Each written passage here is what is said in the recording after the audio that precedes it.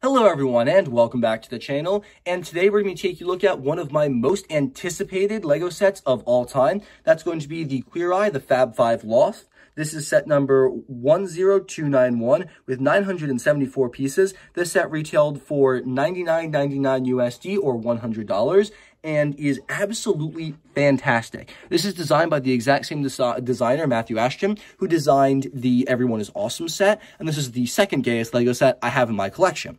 I love absolutely everything that we're getting here. From the Yas Queen poster to the avocados to the stove to the uh, changing room function to all of the amazing minifigure prints, including a Love is Love t-shirt and my personal favorite, a brand new Hawaiian t-shirt to use for my sig fig if I ever want to change the skin tone. And it's just amazing, guys. We're going to take a look at all of those incredibly amazing detailed minifigures first, and then move on to this build of the set. And this is going to be a long video, guys, because there is so much to unpack here. A quick disclaimer before we get into these minifigures, I do not watch this show, so I have no idea who these characters or who these people are, so I'm just be going off what information I can find from the box. So this is Tan, he is the fashion person, I guess, and I love this. First off, this looks exactly like, I'm going to butcher his name, but Taika Waititi, the director of Thor Ragnarok, so it's great to have a sig fig for him. This hairpiece in silver here is gorgeous. I love the silver coloring there. So nice. We got a really nice exclusive facial print there with some stubble in an, a much harder to find skin tone as well.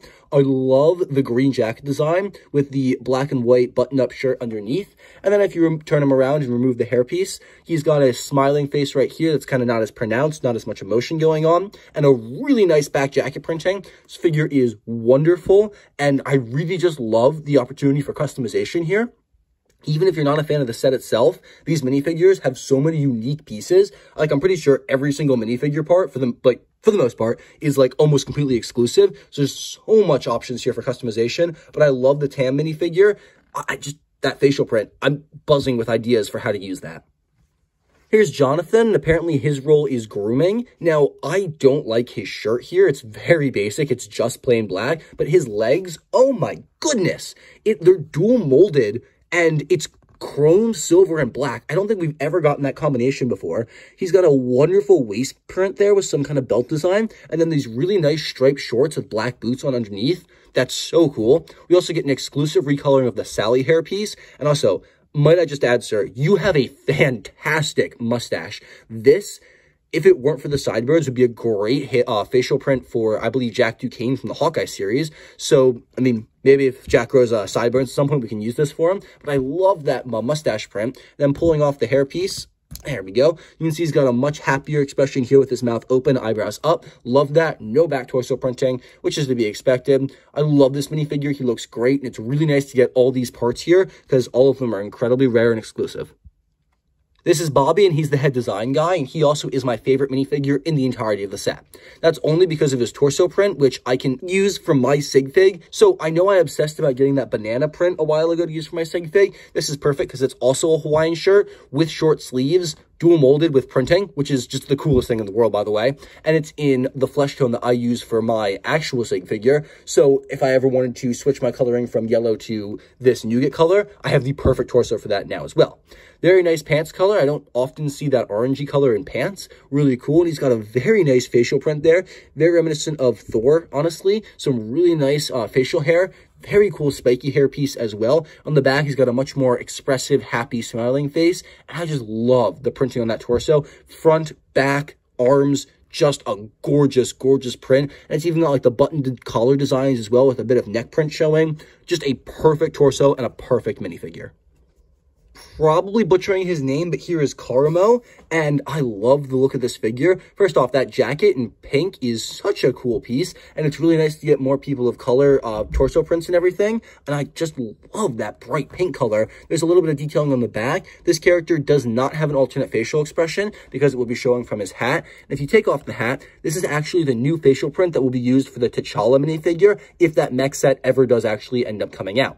Plain black legs, not too much going on for this figure. The torso print is much simpler than the last one we looked at, which is nice because it's really good to always have just like a simple jacket piece. And I just love his facial expression too. It's really nice and it'll work really well for the Black Panther figure should we ever get that minifigure. The last of the Fab Five is going to be Antoni here, and apparently his role is food and wine. Man, I wish I had that job. I love the look of this minifigure. He's got some really nice detailed parts here. First off, he's got this wonderful dog show trainer piece recast in the darker color here, which um, came in Jacob Kowalski, but is also the piece I use for my Doctor Strange, Evil Doctor Strange custom minifigure. So it's nice to have more options to steal it from here in case I want my Harry Potter sets to remain complete. The minifigure has white and tan dual molded arms, which is always really nice to get. He's got a plain white torso print with an ascot tied around or a bandana tied around. You can see that printed on both sides. He's got some excellent dual molded jean shorts with, it looks like some really nice fancy looking sneakers with printing blue lines and then that pink line as well. Or is that orange? I can't tell.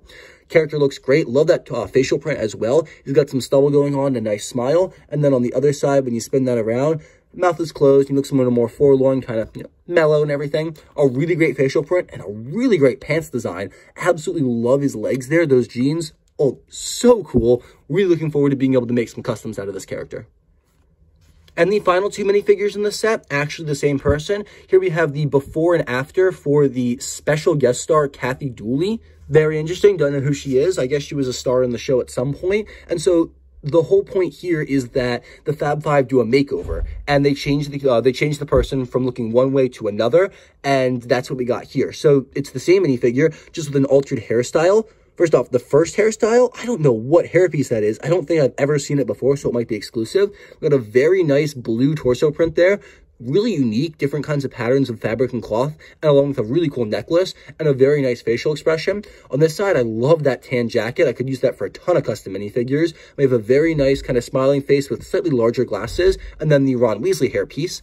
On the back, let's pull off both those hair pieces so you can see the alternate facial expression, and surprise, surprise, it's the exact same face, uh, just different sides. So only one facial print share, only one face between the two characters, but also I love the back of the blue, uh, the blue shirt there. I don't know how well you can see it, but there's truly some unique designs and decals there.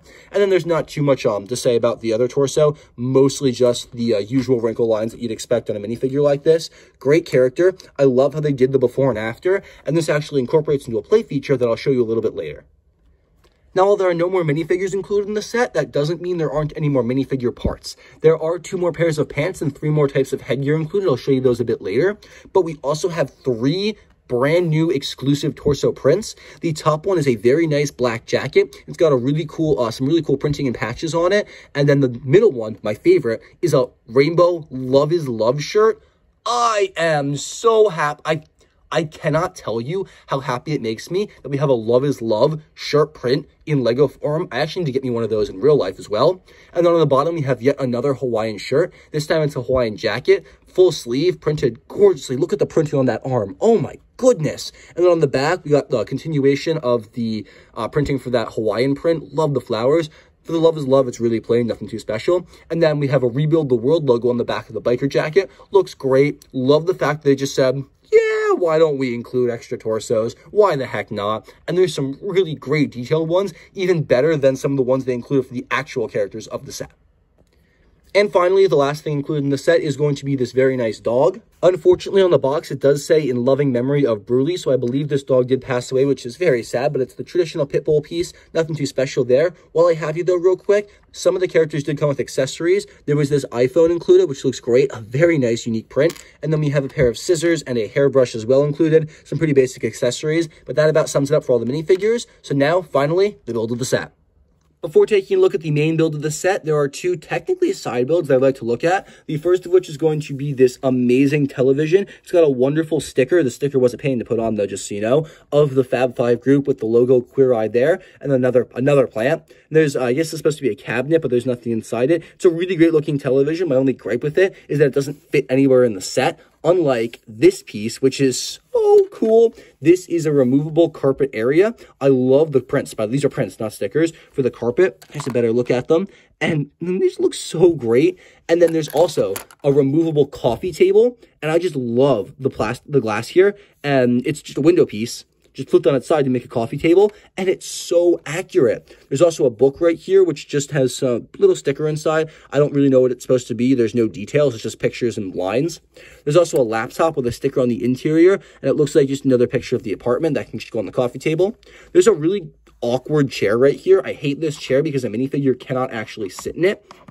Let's take this chap right here he'll just he'll, like there's no studs and he'll just like slip right out of it. It's not the best and it, it, connects really weirdly on this piece as well. And moving all that out of the way we have an amazing couch build some really great stickers there and you can set a ton of people on this couch. But perhaps the best part of the set in my opinion is going to be this amazing lamp build which we can use for pixar too.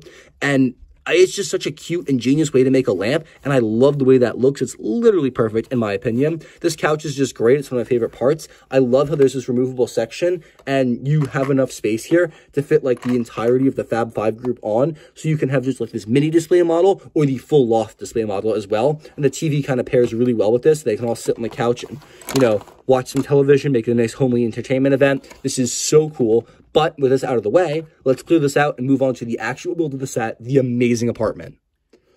I don't even know where, where to really start with, with the build. There's so much to look at, and it's just all amazing. Over in this corner, we have a print here that says Style, Taste, Class. I'm really glad that was a print because I would have had an absolute nightmare of a time putting that sticker on. There's a potted plant right here, which is really cool. It's built in a very uh, unique way. There's a pot right there. You put this over it, doesn't actually connect any studs. Then you put the plant in place, which actually anchors it. So that looks really cool. There's another plant right here along with a china cupboard. This plant is in the way, so let's open that up. In there, you have a cup, a minifigure, a goblet, and another cup, along with a very nice detail detailed door piece. There's no glass in here. That's a dual molded part with a room for a stud handle. Honestly, it looks really great. Love that. We're going to remove the plant for now because it's taking up way too much space. Uh, the center section here, we looked at already because it does lift off. So I'm going to remove that for the remainder of the review, just so we have some more space to kind of see the background. Before we go into the back section, let's look at the slightly more accessible section, which is the style area.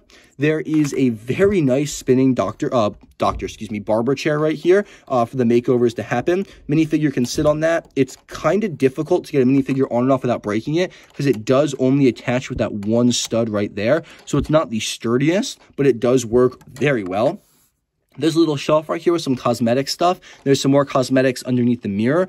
Not sure exactly what those are, but they do exist. There's also a really cool sticker there for a mirror, and that does actually reflect. You can see um, maybe. If I can get it to, ah, yeah, there we go. Whee! It's really, really cool. It's like a perfect mirror. Uh, it's very rare I see a cool sticker like that, and I really love that.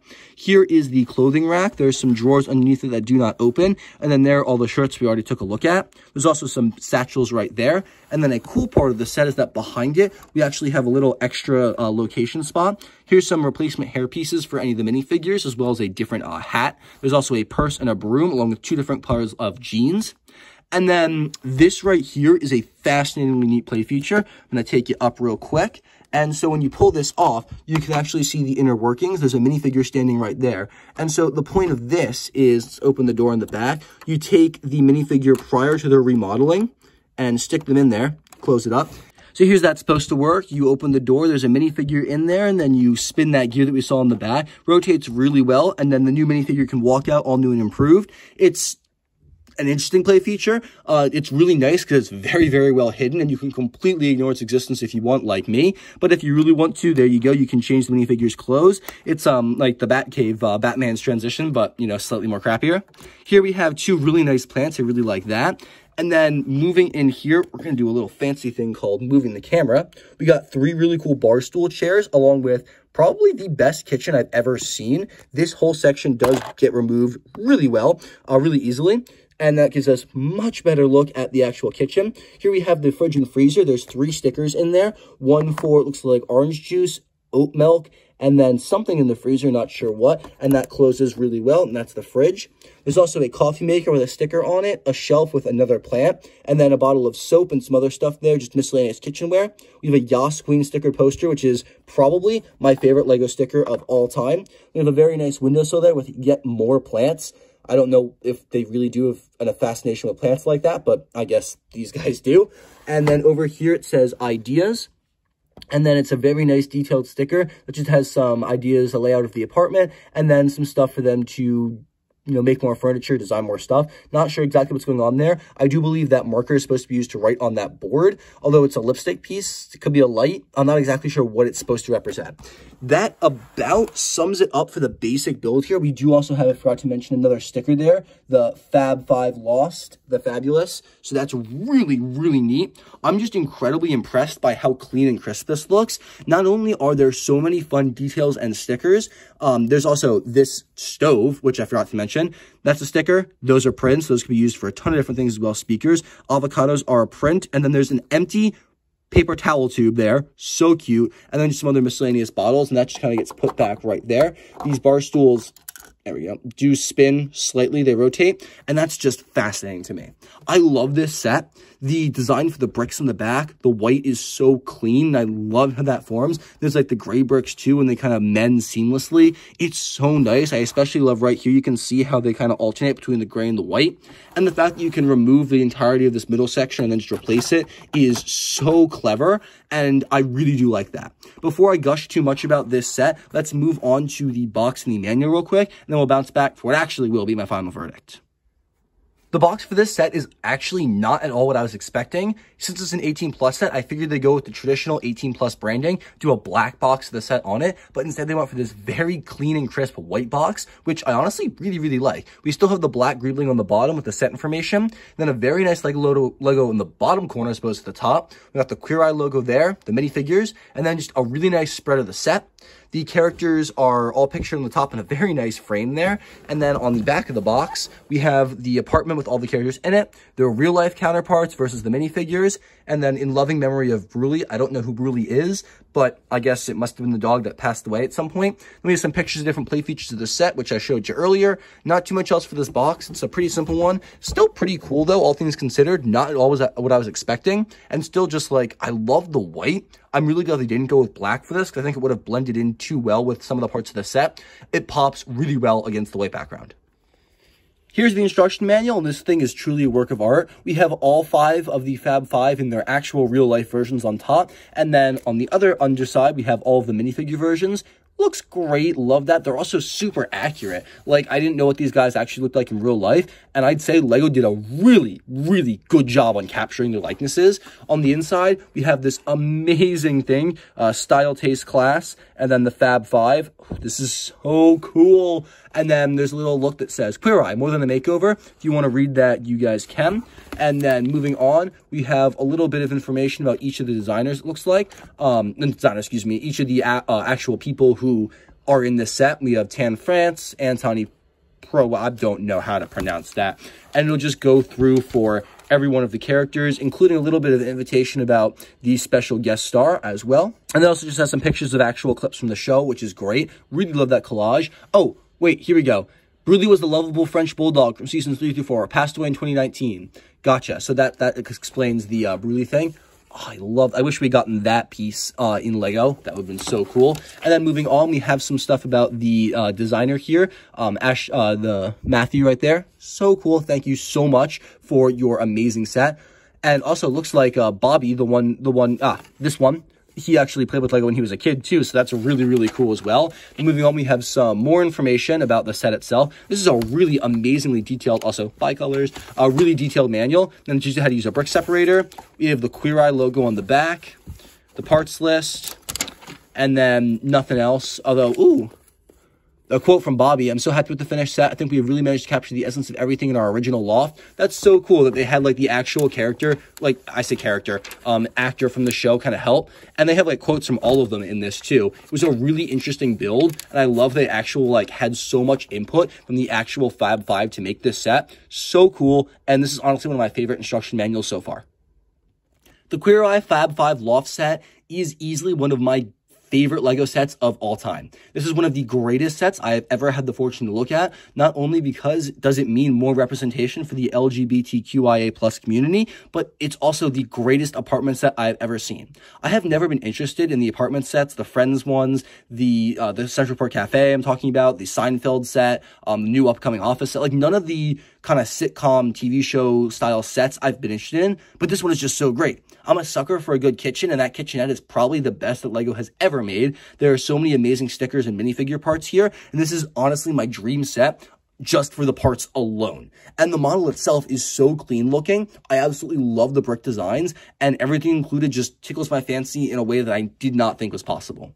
This is easily one of the best LEGO sets on the market currently. If you do not have it, I would highly recommend it. If you didn't know this already, I'm going to rate this a solid 11 out of 10 because there's no way I can't. It's literally a perfect set. I have zero flaws with it. Uh, they did everything right, in my opinion. There's not a single part of this build that I'm like, eh, don't really like that and there's nothing I think is missing. Now, personally, I have never watched the show. My only experience with these characters, or these actual people, I guess, has been in the Big Mouth TV show where they uh. It's a great TV show. If you're over 18, I would highly recommend it. But that being said, guys, get this set. Thank you guys so much for watching. I hope you all have a fantastic and safe rest of your day. I'll catch you all in the very next video.